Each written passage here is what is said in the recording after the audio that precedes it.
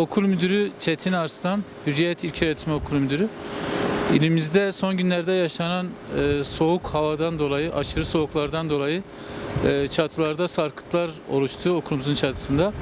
E, Büyükşehir Belediyesi'ne bildirdik. İtfaiye Daire Başkanlığı'na ve itfaiyeci arkadaşlarımıza çok teşekkür ediyoruz. Gelip buzları kırdılar.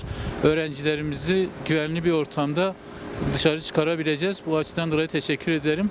Yukarıya çıkalım.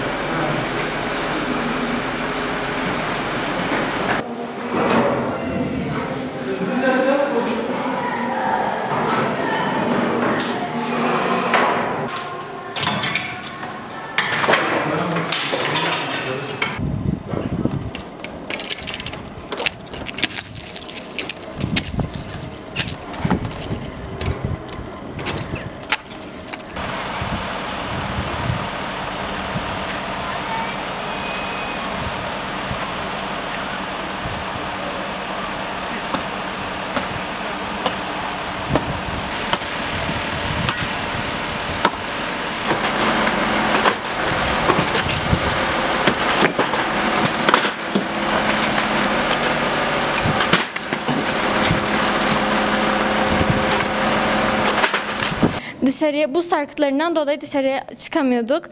Sürekli korku içerisindeydik. Sağ olsun itfaiyeci arkadaşlar, itfaiyeci abilerimiz, ablalarımız bize yardım ettiği için çok teşekkür ediyoruz.